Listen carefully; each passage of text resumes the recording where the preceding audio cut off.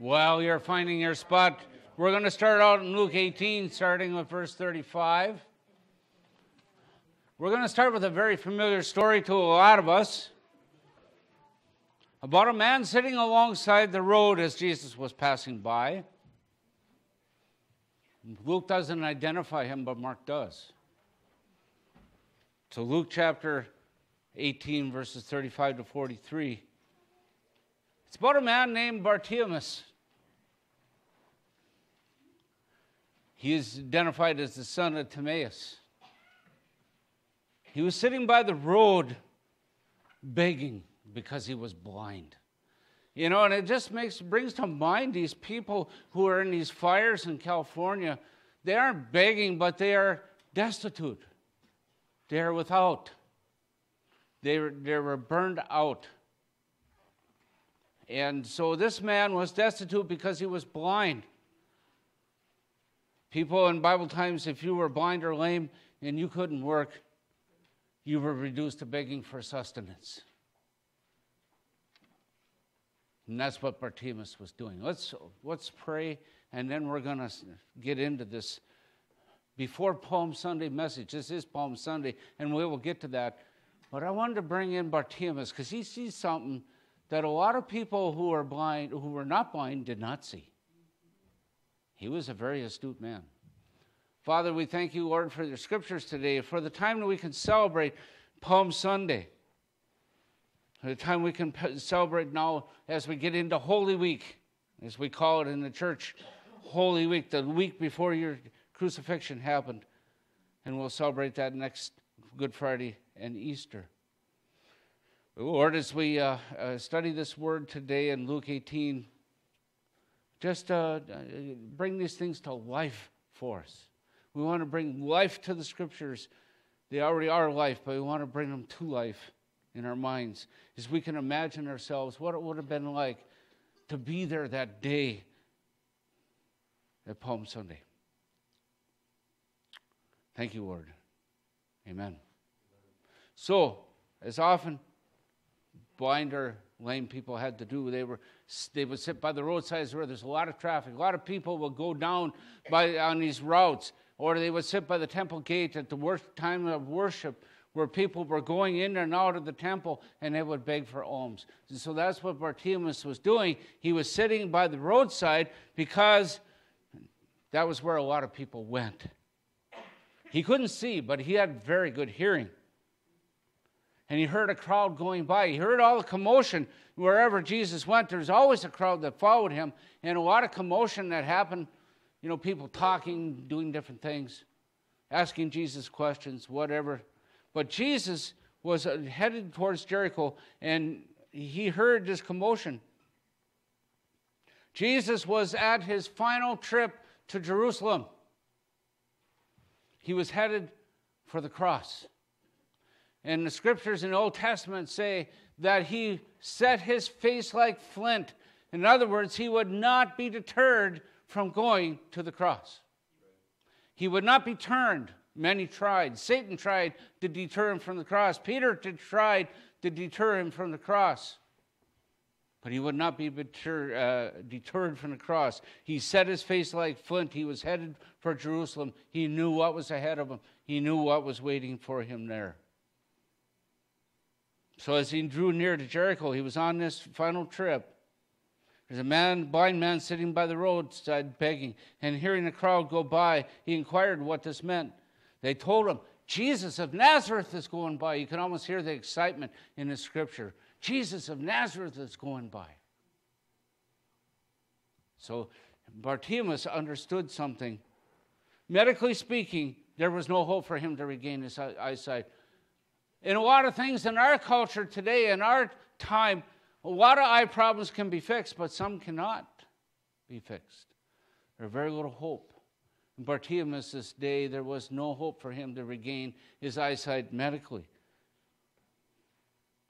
If you have cataracts, they can be fixed. Sometimes laser surgery is possible for the bleeding in the back of an eye, but Bartimaeus had no other options but begging for sustenance. So when he hears that Jesus is passing by, he knows that Jesus represents his only option to regain his sight. That was his only option. As Jesus passes by, he begins to cry out. Now, I want you to pay attention to these words because we're going to come back to them a little later. Jesus, son of David, have mercy on me. It's very important, those words that he used. Jesus, son of David, have mercy on me. And he cries out time and time again. And those in front of him tried to shut him up. It's like a little kid who's squalling and making too much noise in, in church. He tried to quiet him down. But he wouldn't be quiet. He said, Be quiet, be still. And he keeps calling out all the louder. In Mark 10 49, which is this gospel account of this, another gospel, uh, Jesus stopped and said, Call him here. And the reason I chose to switch to Mark is because they told him, once Jesus said, Call him here, they said, Take courage, he's calling for you, get up. You know what he does? He throws off his cloak and he runs for Jesus. I don't know how he found him, but he ran for Jesus because he couldn't see. But he ran for Jesus, throwing off his cloak. And when I tell him to shut up, he, he just keeps crying out all the more. You know, Jesus cares about the concerns you have in your life today. And we all have concerns, every one of us. There isn't one of us who doesn't have some concern or another. Some of it is medical. We heard lots of medical problems for people that we prayed for this morning. Some of it's financial, some of it's other things. I don't know what all your concerns are, but Jesus cares. Bartimaeus was on the fringe of society. He was blind, he was lame, he was not a productive member of society. He was people that he was a person that somebody might throw a quarter or a, a denarius or something into his cup. But that's all they thought about him. But Jesus cared enough about him to call him there. Pastor Arlen made the comment on Friday, Friday's men's supper, that every day when he wakes up and puts his feet on the floor, and this is good encouragement for all of us, when he puts his feet on the floor, the first thing he wants to do, if I, if I remember his words right, was have fellowship with the Lord. That's the first thing he wants to do. And it would encourage us to do the same because we were created by God, Arlen said, we were created by God to have fellowship with Him. And, he, and, Arlen urged us to increase our time of fellowship. You know how it is. We live busy lives. Sometimes we'll mutter a one sentence prayer instead of spending quality time with the Lord. As we're rushing off to the next meeting and rushing off to this, I'm guilty as we're rushing off to the various things, we don't spend quality time praying, increasing our fellowship with the Lord. That's why the Lord came to the Garden of Eden in the cool of the day. He desired fellowship with Adam and Eve. As Bartimaeus approached Jesus, Jesus said to him, What do you want me to do for you? Here he gives the blind man an opportunity to express his trust in Jesus and Jesus' ability to do what he needs him to do. You know, our prayer times here that, that we do, we do them every Sunday and we do them for a reason because we know prayer works. We know that for certain because we see answers to prayer. But it also gives us an opportunity to express our trust in Jesus that he can do what we ask him to do. And that's what Bartimaeus was going to do. He said, Lord, I want to regain my sight. Jesus wants us to be specific in our request for him. We have the freedom to ask him for whatever we need. He says, until he told his disciples, until now you have not asked the Father for anything in my name. Ask and receive that your faith may be made whole. Or made full. When Jesus saw Bartimaeus' faith, he said, Go your way. Your faith has made you well. And immediately he recovered his sight and followed Jesus on the way. Jesus always responds to our faith. He always responds to faith. Hebrews 11:6 says, "Without faith, it is impossible to please God. For he who comes to him must believe that he exists, and he is a rewarder of those who seek him out. Seek out Jesus. Seek him out. So, what did this dude, man do after he was healed? I mean, you can imagine he was dancing around, leaping. He, I don't know how long he had been blind, but I'm sure he wasn't quiet about it once he was healed. He didn't just walk along after Jesus. He was dancing around and leaping and praising God, kind of like the lame man who was healed when the disciples went up to the temple. He jumped up and leapt around and praised God. I'm sure Bartimaeus was doing the same thing. I would have been doing that.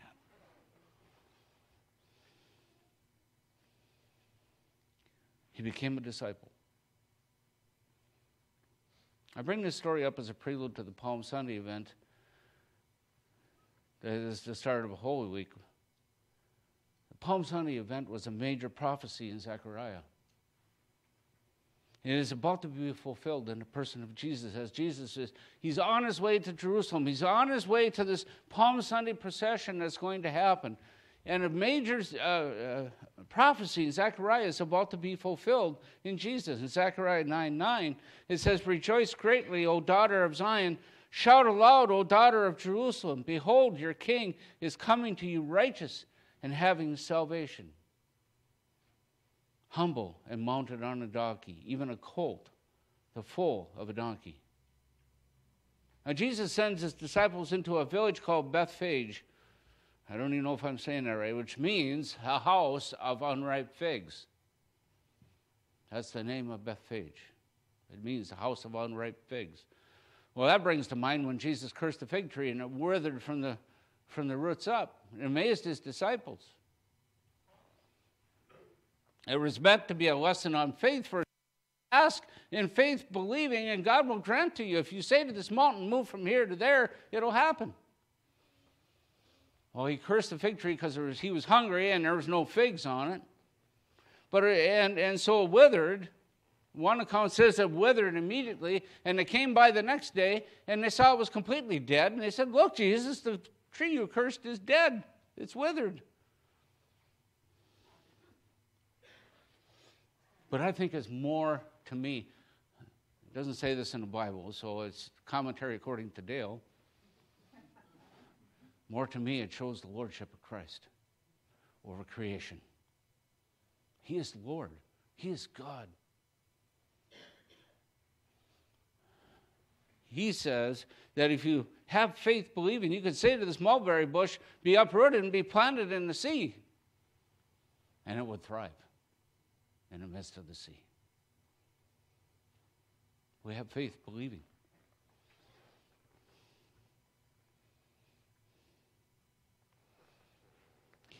As Jesus comes into Jerusalem, he's coming to the capital city of, of Israel.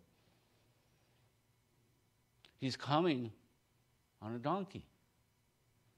No one had ever ridden on before. On a colt, a small donkey. That's not normally the way a king comes into a city. You usually come on a big white horse. But here he is, the king of the Jews creator of the universe, the Son of God, comes into the, into the city, not on a large horse, on a small donkey. All this was prophesied, of course, in Zechariah. One day, Jesus will come on a big white horse. He will come as a conquering king. But Jesus said of himself, the Son of Man did not come to be served, but to serve and to offer himself as a ransom for many. So the question is Jesus knew as he come into the city uh, that day that he was, had one week left, one week to live. What would you do if you knew for certain that you only had one week to live? Would you go away on one final trip, take a cruise? Would you go home to see family you hadn't seen in a while? Would you make amends to former family, friends and family that you were estranged to? Would you do some last minute repenting? Would you be sad? Would you be angry? Would you be hopeful? Would you be afraid? How would you spend those last days and hours? Jesus knew that the time would come for him to leave this world and go to the Father. Having loved his own who are in the world, he now showed them the full extent of his love. And he washed their feet. He, he served them as the lowest servant of the house, and he washed their feet. Here he is, the co creator of the universe, along with the Father and the Holy Spirit. He's the creator of the universe. Son of God, King of kings, Lord of lords, mighty God. What's he doing? He's washing his disciples' feet. He's encouraging them. He's been telling them for, for weeks that he's going to be uh, crucified. And they were very sad. He spent the entire week fulfilling his purpose. He was teaching in a temple. And he did the things that he was supposed to be doing. He was going to offer his life as a ransom for many.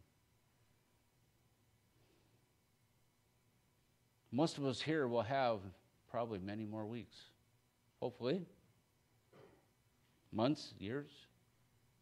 How will you spend the next week? Will we be fulfilling the, fulfilling the purpose God has for us?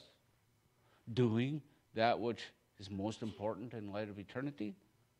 serving Christ and serving others? As we studied in Sunday school this morning, will we exhibit kindness and goodness to other people as part of the fruits of the Spirit? How will we conduct ourselves this week? Maybe even the rest of this day.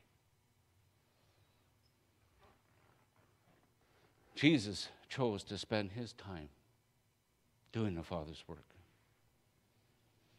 as Jesus and the disciples head down the Mount of Olives, a lot of things are going on at the same time as he walks, as they head down. Not only were people there to see Jesus, but John says in his account, and I encourage you to read all the gospel accounts because it's in every one Matthew, Mark, Luke, and John.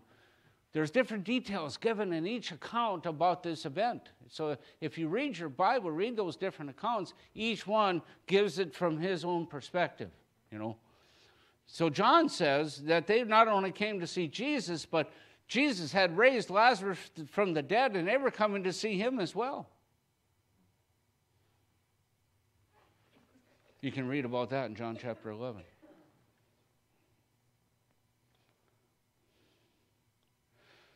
This was a bona fide miracle that Jesus had done. Secondly, as Jesus rode towards the city and he looked as he came down off the Mount of Olives and looked towards the city. And if you've seen pictures of that, you can, it's a pretty panoramic scene of Jerusalem. In Luke 19, 41 to 44, it says he wept over it. When he drew near and saw the city, he wept over it, saying, Would that you, even you, had known on this day the things that would make for peace, but now they are hidden from your eyes. For the days will come when your enemies will set up a barricade around you and surround you on every side and tear you down to the ground, you and your children within you, and they will not leave one stone upon another within you, because you did not know the time of your visitation. So as Jesus enters the city, he's weeping over it. While people are cutting down palm branches, laying cloaks on the road, Jesus is weeping for the city because he knows in, in just a few short years this is going to be fulfilled. The Roman general Titus in 70 AD is going to attack the city and destroy it and destroy the temple. Not one stone left on another. But people are having this joyful celebration of Palm Sunday. People are hailing him as King of the Jews. As Jesus entered the city, he goes to the temple and sees all the buying and selling and the money changers and the court of the Gentiles. And he's very angry. It's 22 times recorded in the Bible that Jesus became indignant. He was very indignant. He had a righteous anger.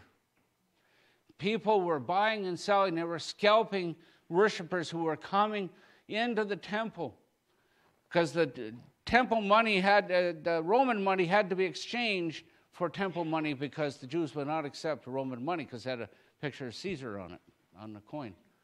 So they had to exchange it, but they were scalping them, charging them exorbitant, exorbitant exchange rates, and they would uh, sell them sacrificial animals at a very high price. So Jesus makes a whip, of course, and he goes about the temple, kicking over the table the money changers. Money was flying everywhere. Sheep and goats were bleeding. It's just a, a huge commotion that Jesus cause there. Doves were flying, goats were bleeding, animals running out the door. You can just admit, put it in your mind's eye. All this commotion is going on. Here's Jesus yelling at the top of his voice Get these things out of here. My house shall be called a house of prayer, and you have made it a den of thieves. That was the only place the Gentiles could pray. Now, you know how, much commotion we have in here when we do our meet and greet time. Try to pray. Try to pray during three times that amount of commotion going on. But this was the only place the Gentiles could come and pray. They couldn't go to the court of the Jews, they would be killed. So they had to pray there amongst all this commotion. Jesus says, Get these things out. If you're my house, shall be called a house of prayer.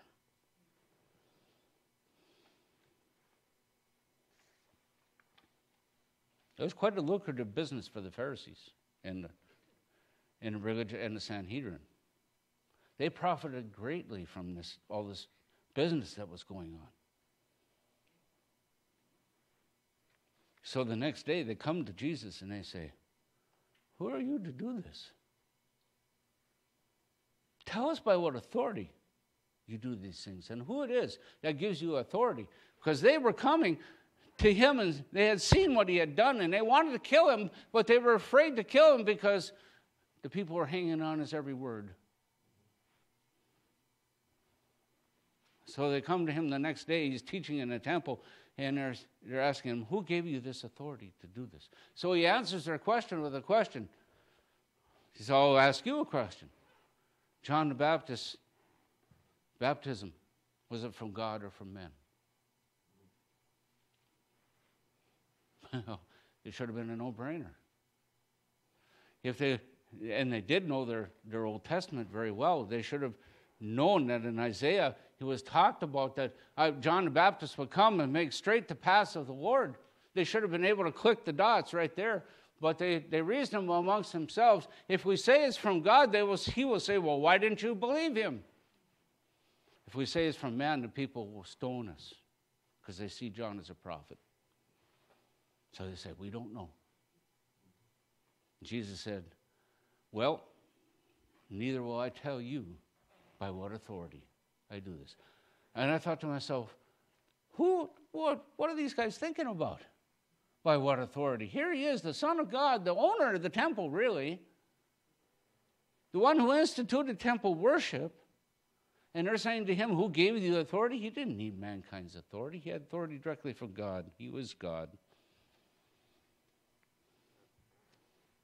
Uh, yeah. So, as they looked to find a way to destroy him. He dodged their question. He said, Neither will I tell you by what authority do I do these things, because he needed no one's authority. He's God in the flesh. I'm going to close this message, and it's also a question for you. Matthew 16, 13 to 16. Jesus came into the district of Caesarea Philippi and he asked his disciples, who do people say the Son of Man is? You know, that's a question that people are still asking today. Who is this Jesus? Who do people say that he is? That's what Jesus was asking. You'll get 10 different answers if you ask 10 different people. Who is Jesus? Oh, he's a great man. He was a prophet. He was a good man. He's a lunatic. That's what they were saying about him. Who do people say the Son of Man is? And some say John the Baptist, others say Elijah, others say Jeremiah one of the prophets. And he said to them, But who do you say that I am? This is a question we all must answer for ourselves. Who is Jesus? Is he Lord of my life? Is he my Savior? Is He my Master and Messiah? Peter spoke up. Now, Peter oftentimes, you know, he went off on something, but Peter got this one right. You are the Christ, the Son of the living God. Blessed are you, Simon Barjona, or Simon, son of Jonah, for flesh and blood did not reveal this to you, but my Father who's in heaven. And I tell you the truth, from now on you are Peter, and upon this rock I will build my church, and the gates of hell will not prevail against it. It is upon the testimony that we all have about who Jesus is that the church is built today. How the church is being built block by block, person by person today. By our testimony of who Jesus is. By your testimony of what Jesus has done for you. He's your Lord, your Savior, your Master, your Messiah.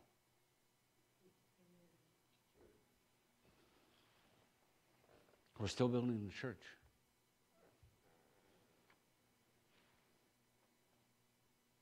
Said, I'll continue to build my church, and the gates of hell will not prevail against it. Upon a very testimony, that very testimony of Peter had that the church was founded on. You are the Christ, the Son of the living God. It's upon the testimony they would offer a little over a week from Palm Sunday, when on Easter morning they would, they would be astounded by the fact that Jesus had risen from the dead. We saw him alive on the road to Emmaus. We saw him alive.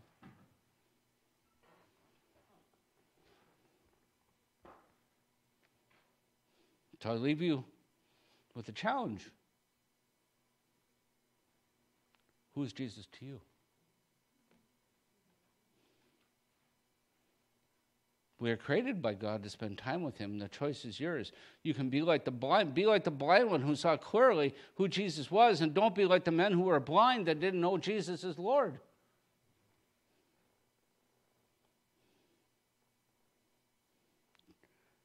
Read the accounts of Palm Sunday today. Deep, drink deeply of all the deep details that each one gives you. And then be like Thomas. I'm going to close with these words who said upon seeing Jesus. Now, this was a week after the resurrection, and Thomas was in the upper room, and he had said, Unless I see him and put my fingers in his nail holes and in my hands in his side, I will not believe he has rose from the dead. And Jesus appeared in the upper room a week later, and, and Thomas was there with all the disciples, and he says, See here, put your finger in my nail holes and your hands in my side. And he knelt down and said, My Lord and my God. Be like Thomas, my Lord and my God.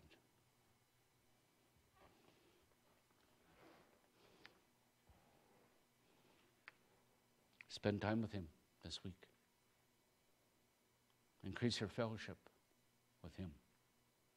He's waiting for you with open arms. He desires that so much. God bless you.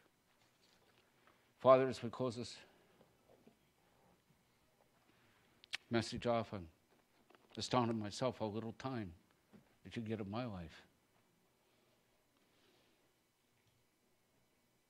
You came to earth so that He would open up a path for all of us to have more time, more fellowship, ask what we need from you and, and be able to receive it. There's so many things that you provided for us, Lord. Thank you. But we give so little time to worship, to have fellowship, to thank you. So, Lord, now as we prepare to have our lunch and prepare to have our meeting to follow, Lord, may, may we never forget to increase our fellowship with you. Things, life will get busy, and we'll do other things today after we're done here. May we always seek your face in all that we do. May we always worship you. I'll give you the praise in Jesus' name. Amen.